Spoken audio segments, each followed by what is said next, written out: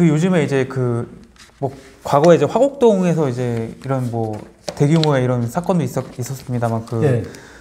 뭐, 지- 뭐 갭투자를 뭐 200채, 300채 해가지고 갑자기 집주인이 사라지는 경우 있잖아요. 그러니까 전세금을 돌려받지 못하는 거죠. 바지 사장을 내세운 거예요. 네, 그거는 이렇습니다. 네. 정확하게 내가 설명을 네, 하자면 네, 일단은 건축업자가 네. 비싸게 땅을 사요. 네, 땅도 네. 비싸게 사더라고. 네, 네, 실질적으로 네, 그 주변에 빌라들이 거래된 거를 보면은 네, 2천 예를 들어서 2천만 원에서 한 2,300만 원 정도 네. 한땅한 평의 가치가 거래됐다 그러면은 업자들은 뭐 한 3천 정도 사겠죠. 음, 그쵸. 사가지고 집을 적게 질수록 이익이 많이 나와요. 음, 근데 적게 더 이상 쪼개지 못한 게 네. 주차장법 때문에 그쵸, 그쵸. 예. 주차장 대수를 맞추기 때문에 네. 주차장 대수에 맞춰서 네. 집을 지어요. 음, 지어 가지고 일단은 그 공인중개사들은 아마 이런 일에 거의 참여 안 할 것 같기도 한데요. 네, 네, 네. 대개 보면은 분양팀들을 데리고 다녀요. 음, 건축업자들이. 네, 이분들은 공인중개사들은 수수료 10만 원만 더 받아도 구청에서 이렇게 과태료 네. 네. 이분들은 3천만 원, 4천만 원 수수료 죽어도 네. 양도세 혜택까지 받아요. 음, 구청하고 상관도 없어요. 음. 얼마나 돈 벌기 좋은데 하나 쓰면은 1년 먹고 사는 거예요. 네네. 분양팀에서. 네, 네, 그러면은 분양팀에게 네, 내가 그걸 계산을 해보니까 네, 2억 한 5천짜리를 네, 한 3억 7천 정도의 전세를 옵니다. 네. 내재가치 2억 5천을 네, 3억 7천의 전세를 넣어요. 네, 그러면 그 바지 사장을 불러요. 네, 야 거기에 저 도장 가져와. 그래가지고 이전비까지 줘요. 음, 그리고 용돈 하라고 500만 원, 1000만 원 줘요. 한, 한, 한 집당. 한 집당. 예, 그러면 그 바지 사장은 뭔지도 모르고 자기는 그렇죠. 지하실 살면서 이걸 자기 명의로 하는 거예요. 500 나중에. 어떤 일이 그죠. 터질지도 네. 모르고. 근데 사실 이 일이 안 터졌으면요. 한 3, 4년 전에부터 오래전부터 이게 시행이 돼, 이게 했었는데 네, 빌라 값이 너무 올라가지고 네, 벼락부자가 될 수가 있었어요. 음, 될수 있었는데 이 사람들이 정, 전세 연기 같은 걸 못 해주고 이래가지고 아. 차압 들어오고 또 이번에 뭐 종부세고 재산세고 뭐 엄청 나와버렸잖아요. 음. 나오니까 그 돈이 없는 거야. 그쵸. 그쵸. 그돈 낼 돈이. 음, 그래서 이게 발목이 잡히기 시작하는데 음, 이걸 나는 공식화되어 있는 게 네, 집값의 8%를 수수료를 줘요. 근데 8%더 줘요. 음, 5천도 줘요. 네, 뭐 3억 7천짜리 쓰고 5천만 원 수수료 말이 됩니까? 음, 수수료가 비싼 그런 거는 결국은 그 피해가 네. 집을 산 사람한테로 와요. 음, 전세 산 사람한테로. 그쵸, 그쵸. 예. 네, 특히 수수료가 비싼 것은 오피스텔 하나 팔면은 엄청 수수료가 비싸요. 공식적인 수수료도 비싸요. 음, 그리고 이런 이 빌라 같은 거는 네, 예를 들어서 하나 쓰는데 3천만 원 전세 세입자 데리고 오면 3천만 원 준다 그러면 네, 내 아들이라도 데리고 와서 3천만 원 벌겠어. 음, 그런 심정으로 세를 놓습니다. 세안 나가겠어요? 그냥 채워지죠 시간 되면은. 그래서 이게 지금 그 너무나 비싸게 들어갔기 때문에 네, 정부에서 차라리 이런 게 은행이나 대출 같은 전세 대출을 해줄 때, 네. 야 이건 너무 그 전세가 비싸니까 우리 대출 못 해준다 이렇게 컨트롤을 해줬으면 이런 사건이 안 생기죠. 네, 보험회사도 매매 사례로 이거를 하니까 네. 계속 주변이 이런 식으로 하니까는 이게 하나의 공식적인 가격이 돼버리잖아요. 이게. 네, 근데 복성식 평가법으로 해가지고 음. 원가를 산출해가지고 원가 이상은 대출 못 해준다 했으면은 네, 사람들 다 구제되죠. 음, 은행에서 차단시켰죠. 그리고 건축업자도 이렇게 땅값을 올릴 이유도 없죠. 건축업자는 시세보다 한 30% 비싸게 땅을 사도 이익이 남아요. 음, 그러니까 땅값을 올려버리죠. 그러니까 단독주택이 단독 잘 아시잖아요. 네, 네, 단독주택이 비싼 이유가 여기, 여기 이래서 나옵니다. 음, 단독이 왜 비싸게 매매가 되느냐. 음, 멀쩡한 다가구도 네, 지금은 돈이 되면 헐어버려도요. 네, 지면은 훨씬 이익이 많이 나와요. 아, 그래서 다가구도 업자들은 비싸게 사는 거예요. 음, 명도만 된다면. 네. 명도 조건이 항상 나오죠. 근데 그 이제 임차 입장에서는 이거를 뭐 알수 있는 방법이 없잖아요. 이게 이렇게 사기를 짜고 치는 건지 왜냐면 뭐 예를 들어서 천만 원이 싸 전세금 예를 들어서 그럼 당연히 여기 계약을 하겠죠. 뭐새 집이고 하니까. 이제 자그 특히 공통점이 네. 2030 세대하고 네. 의외로 또 연세 많으신 한 70대 네. 할머니 이런 분들 네. 이런 분들은 뭘 좋아하는지 아세요? 뭐요? 신축을 좋아하세요. 아, 그쵸. 실수 좋아하죠. 예. 신축을 싫어하는 사람 없는데 네, 네. 유난히 음. 이분들이 좋아해요. 음. 그래서 묻지 마. 음. 예를 들어서 네. 제가 그런 그 상담을 좀 우리 친구들이나 네. 지인들한테 많이 받습니다. 네, 네. 야, 우리 아들이 이번에 저기 저기 그 H동에 네. 들어가는데 얼마더라? 네. 야, 그거 물린다. 이사 못 간다. 음. 근데 나중에 얘기 들으면 계약했을 것 같아요? 안 했을 것 같아요? 했겠죠. 합니다. 네. 누가 이겼겠어요? 예, 자녀들이 이겨요. 그쵸, 그쵸. 예. 자녀들 고집이 이 부모를 꺾습니다. 그쵸. 예. 자기들이 해- 해달라는데. 음. 그래서 들어가서 이제 조금 재수 없으면 수업료 내는 거죠. 음. 비싼 수업료. 보험을 가입했으면 수업료가 싸고 네. 보험을 가입 안 했으면 네. 전세금의 절반은 무조건 떼이는 거죠. 그 언제 벌겠어요, 그게. 그 일단은 서류적으로 일단은 구분이 안 되는 거죠, 이거는. 이게 공부를 하면 가능해요. 음. 요 공- 서울 부동산 정보광장 같은 데 가가지고 네, 네, 네, 네. 전체적으로 확장 면적이 몇 평 정도 되는지 음, 봐가지고 음. 이거를 나름대로 네. 이 사람들은 어- 업자가 이 집을 뭐 평당 3,500 주고 샀든 5,000 주고 샀든 네. 그건 싹 무시해야 돼요. 네, 네. 이 지역에 보편 타당한 일반적인 대지 가치가 얼마인가. 네, 네. 이게 제일 핵심이에요, 사실은. 음. 강남도 예를 들어서 보면은 강남에 한 평에 3억짜리 땅도 있지만 네, 네, 네. 지금 계산해 보면 아파트 한 평에 3억씩 계산돼요. 네. 3억짜리 땅도 있지만은 어 4천만 원짜리 땅도 있고 아주 후진 땅은 네. 보통 뭐 한 6천에서 7천 이렇게 거래되거든요. 단독 주택이나 음. 네. 뭐 이런 거는 네, 네. 특별한 호재가 없는 거는. 그러면 강남의 기준 대지 기준 가치는 뭐 6천이다, 7천이다 이렇게 볼수 음, 있겠죠. 그러면은 강, 강남의 아파트도 음. 예를 들어서 32평은 이치에 따라서 얼마 정도가 적정한 내재 가치다. 그냥 답이 나오죠. 음. 예. 요건 빌라는 식은 죽 먹기예요. 아니면은 차 가지고 가서 내 방만 다 재요. 재고 예를 들어 공용 면적은 한 그냥 많이 넣어서 세 평. 음. 그리고 들어가서 면적 공용 면적 세 평 해가지고 나누기 이 하면은 대지 평수 나, 대지 가치 나오거든요. 네네. 그러면은 거기서 딱 나누기 이 하면 이해해가지고 나온 가치에 평당 2천 뭐 많이 쳐줘도 2,500 쳐주면 음. 그 집이 아주 뭐 한 5억 6억 나가는 집이라도 네. 한 계산해 보면 한 3억 5천 4억밖에 안 나와요. 음. 그런 그런 식으로 해서 이제 내재 가치를 찾아가면은 네. 전세 가지고 걱정할 일도 없고 어, 내재 가치를 공부하면은 집 때문에 싸울 일도 없어요 사실은. 예, 부부싸움 예해요. 열심히 돈 모았다. 아 기다리면 되는데 기다리면 되는데. 아, 네, 예. 알겠습니다. 그 작가님 이제 그 많은 얘기 해주셨는데 이제 어떻게 보면 이제 정리하는 거죠. 예. 재테크 비법이 있다면. 재테크 비법은 네, 첫째 네, 싸게 사는 거, 네, 둘째 저평가된 거 사는 거, 네. 셋째 올라갈 집 사는 거. 아, 네, 똑같아 내용은 싸게 사는 거예요 싸게.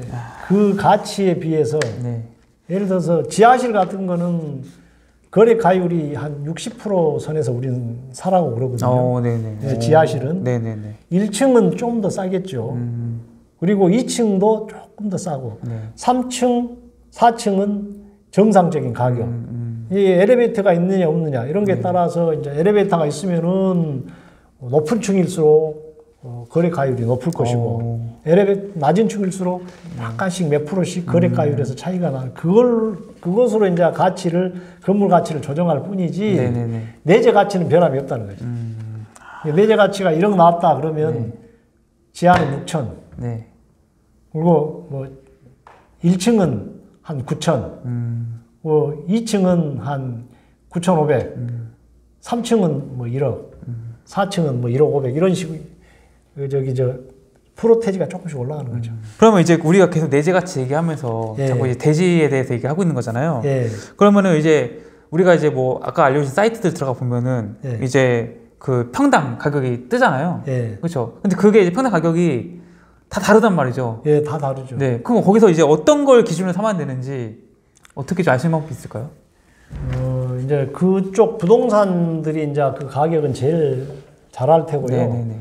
특별한 그 이유가 있는 거, 네네. 재건축을 한다든가, 네네. 건축업자가 산다든가, 네. 뭐 이런 거는 가격이 뭐 60%, 70% 이렇게 부풀려질 수 음, 있거든요. 네네. 근데 통상적으로 이제 어떤 호재가 없고 네. 밋밋한 그런 거래가 있잖아요. 네네. 보- 통상적인 거래, 네.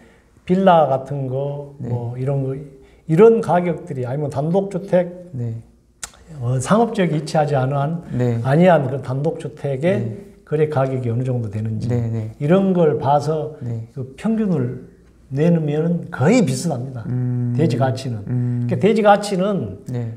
건축업자들이 산 것보다 지금은 한 30% 정도 낮게 보면은 정확합니다. 아 그래요. 예. 음, 업자들이 한 30% 정도 비싸게 산다 그렇게 보시면 음, 음. 이 30%는 어떻게 보면 이제 명도에 대한 이제 프리미엄을 주는 거네요. 명도에 대한 프리미엄이지만은 굉장히 비싸, 여기 자신이 있는 거죠. 그렇죠, 그렇죠. 한 분양할 자신 있는 예, 거죠. 지으면은 네. 산이 다 팔려가니까 안 팔리면은 30%가 아니라 30% 싸게 사도 안 팔리면은 못 사죠. 그럼 이제 지금까지 되게 좀 가파르게 집값이 올랐잖아요. 예, 예. 이 집값이 오르는 이유를 어떻게 보고 계세요? 아까도 얘기했지만 네. 뭐 인간의 심리를 무시한 그 뭐 정부 정책이라고 얘기했지 않습니까? 네네네네. 근데 이게 사실 집값 조정을 정부에서 진짜로 원한다면 네네. 이것부터 그 연구를 하셔야 돼요. 인간의 심리부터. 음, 그리고 네. 거기에 맞게끔 정부 정책을 세- 해야 되거든요. 네네네. 지금은 그 집이 한채 있건 두 채 있건 네. 사도 못, 사지도 못하고 팔지도 못해요. 음, 가장 무서운 게 지금 취득세입니다. 네네네. 이 취득세 때 취득세라는 것은 뭐 1년 안에 판다. 지금 뭐 엊그저께 보니까 2년 안에 팔면 뭐 된다고 그렇게 돼 있는데 네네. 집이라는 게 이게 2년 안에 판다고 했는데 그렇죠, 그렇죠. 이게 집값이 너무 떨어져 갖고 못 팔 수도 있거든요. 그쵸, 2년 그쵸, 예. 길게 그쵸. 가다가 네, 그쵸. 지금 당장 안 팔면 그렇죠. 근데 이런 것 때문에 사람들이 포기하는 거죠. 음, 이 집을 사가는 것도 포기, 네네. 집을 파는 것도 포기.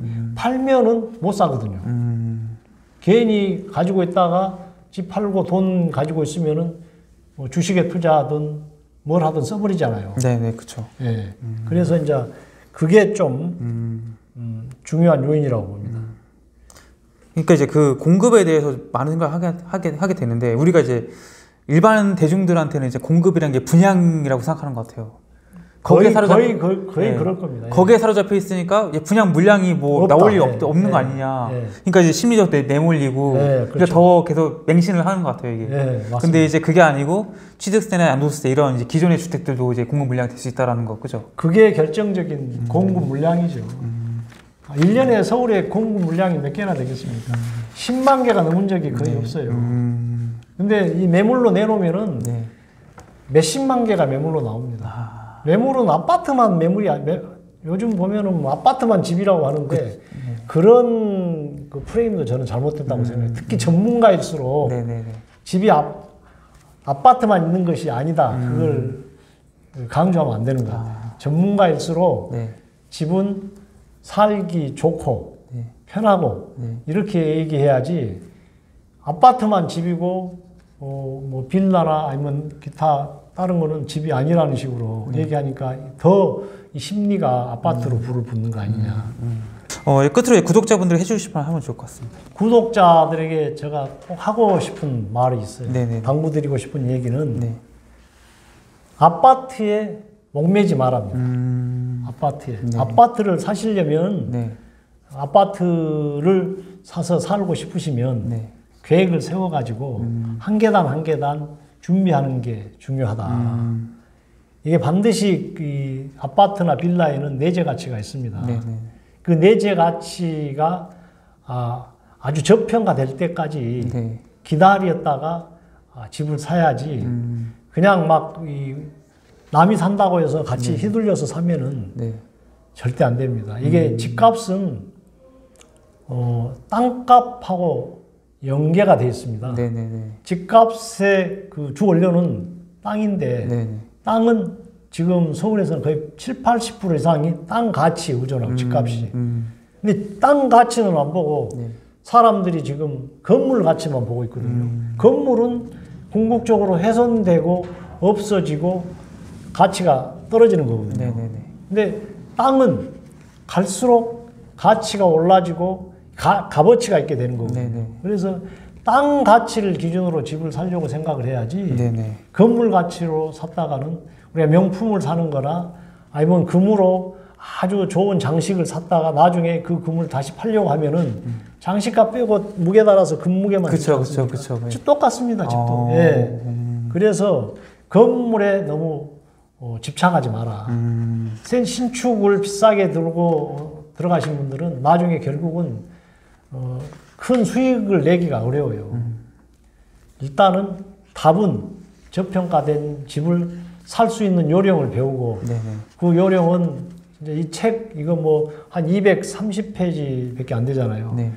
처음에 왜 그 세계 3대 버블을 내가 써놓은 이유가 있습니다. 네.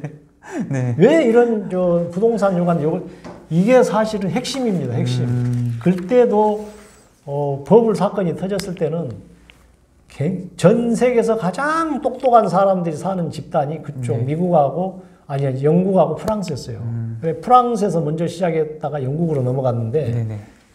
맨 먼저 네덜란드부터 튤립 한 뿌리에 네, 그죠. 예.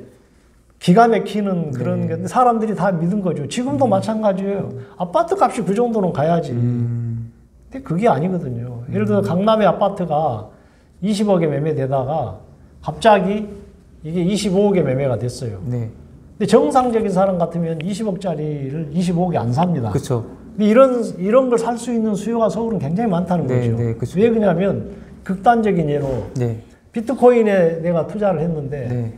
이제 팔아야 되겠어서 팔았는데 돈이 100억이 생겼어요. 네. 근데 이 돈을 가지고 있으면 네. 언제 어떻게 사기당할지 은행에 넣어놔도 안전하지 않고 그러니까 네. 아, 강남에 집이나 한 두 개 사놓자 네. 사잖아요. 네. 이 집이 없어요. 네. 근데 20억에 내놓은 사람이 그냥 장난으로 해본 말이 25억이에요. 음. 근데 이 사람은 25억 주고 사거든요. 근데 신문에는 그게 진짜 25억으로 오른 걸로 나와요. 음. 이게 지금 그 버블 형태의 음. 그 가격이 오르는 현상 중에 일부라는 거죠. 음. 이런 거는 가격이 아니에요. 예. 그럼 이제 그 2017년, 18 이때부터 이제 그 버블이 꼈다고 이제 보신 네. 제- 거잖아요. 저는 보고. 그 이제 보세요. 그러면 이제 17, 18, 19, 20, 21, 22년 예. 동안 어떻게 보면 상승을 했단 말이죠. 예. 그럼 이게 제가 작가님 입장이면은 아 내가 이거 뭔가 잘못 생각한 거 아닌가? 왜냐면 시장 계속 올라가니까. 당연히 그렇게 생각하죠. 네. 네. 보세요. 네. 천재 물리학자 뉴턴 네, 네, 네. 아시죠? 네, 네, 네. 뉴턴이 네. 자 회사 주식을 네. 샀어요. 네. 계산 천재예요. 중앙은행 총재 그런 역할 역을 하고 있던 분이었어요. 네. 근데 샀는데 네. 주식을 예를 들어서 1억 원어치를 샀는데 네. 몇 달도 안 돼서 2억으로 갔어요. 네. 근데 이 회사는 절대 이익을 낼 수 없는 회사예요. 네, 네. 예? 네. 그래서 2억을 받고 얼른 팔았어요. 네. 팔았는데 친구들이 와서 비아냥대는 거예요. 네. 야, 네 계산 천재고 우리나라 화폐를 주관하는 네. 내가 야, 씨, 나는 지금 세 배 남았어야, 네 배 남았어야 이래. 네, 네. 이러니까 뉴턴이 열받아 가지고 네. 계산도 안 해보고 네. 예, 그래 있는 돈 다 모아가지고 네. 한 30억 원치를 샀어요. 네, 네. 샀는데 어떻게 됐을까? 근데 망 망했잖아요. 휴지조각 네. 됐어요. 음. 이게 지금 요 네. 머리가 좋고 학벌 좋고 공부 잘한다고 해서 투자 잘하는 게 아니에요. 음. 투자를 언제 할 건지, 언제가 저평가 시점인지, 네, 네. 이 시점에 어떤 종목을 투자할 것인지 이걸 찍어내는 게 가장 잘하는 투자거든요. 투자의 비법은 다른 데 없습니다. 딱 거기에 있습니다.